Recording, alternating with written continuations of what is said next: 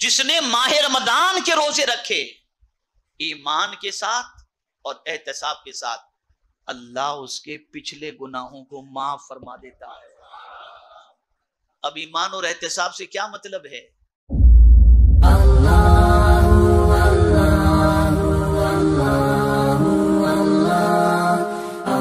एक और हदीस आकाए करीम सल्लल्लाहु अलैहि वसल्लम ने बयान फरमाई, मन साम रमदान ईमानम व एहतसाबन। गफिर लहू मा क़ाल।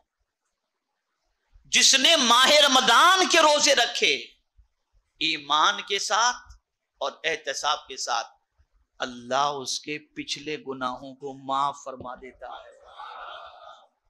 अब ईमान और एहतसाब से क्या मतलब है?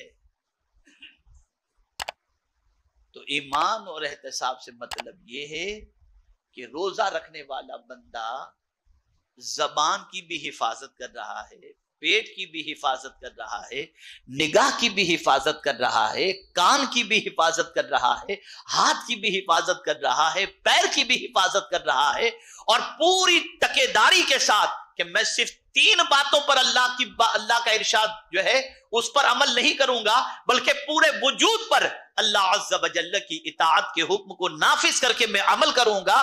तो फिर ऐसे बंदे के अगले गुनाहों को अल्लाह माफ़ फरमा देता है। पिछले गुनाहों को अल्लाह माफ़ फरमा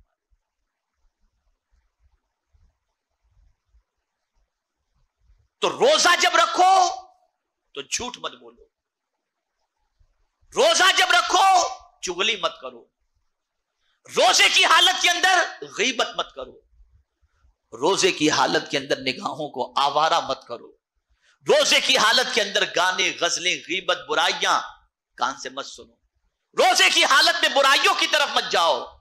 रोज़े की हालत के अंदर हाथ से गुनाह ना करो, बल्कि रोज़े का पूरे, पूरा ख्याल करते हुए हर चीज़ को, पूरे वजूद को अल्लाह की नाफरमानी से रोक लो कि कोई मुझसे गुनाह सरजद नहीं होना चाहिए।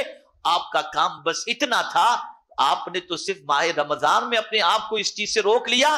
मेरे करीम की शान ये है कि ये रुकना रसूल आज़म के फरमान की रोशनी में पिछले सारे गुनाहों की माफ़ी का ज़रिया बन गया। कयाम के बारे में जो हम तरावी पढ़ते हैं या रात में उठ करके रमदान मुबारक के अंदर आदमी नफिल वगैरह पढ़ता है तो उसके हवाले से भी रसूल आज़म वसल्लम ने फरमाया, मन काम रमदान ईमान व एहतसाबन गफिर लहू मा तकद्दम मिन ज़ंबि औ कमा क़ाल। जिसने माह रमदान में क्याम किया, ईमान और एहतसाब के साथ, अल्लाह उसके पिछले गुनाहों को सब माफ़ फरमा देता है। तो तरावी को अपने लिए बोझ न समझो। अगर थोड़ी देर खुदा की बारगाह में रोज खड़े रहने पर ज़िंदगी के सारे गुनाह माफ़ होते हो तो ये नुकसान का सौदा नहीं, ये बड़ा सस्ता सौदा है। ये बड़ा सस्ता सौदा है। तो है रसूल आज़म सल्लल्लाहु अलैहि के दीवानों तो अर्ज़ करने का मंशा ये है कि माह रमदानुल मुबारक के अंदर अपने वजूद को गुनाहों से बचाओ, गौरबा यतामा मसाकिन का और जरूरतमंदों का ख्याल भी करो और साथ ही साथ अपने आप को इबादत के लिए बिल्कुल रेडी कर दो और एक खास बात जो है वो ये है कि इस महीने को अपने लिए टेंशन नहीं, रहमत समझो। क्या समझोगे? रहमत। घबराना नहीं। डरना नहीं। क्या होगा? कुछ नहीं होगा।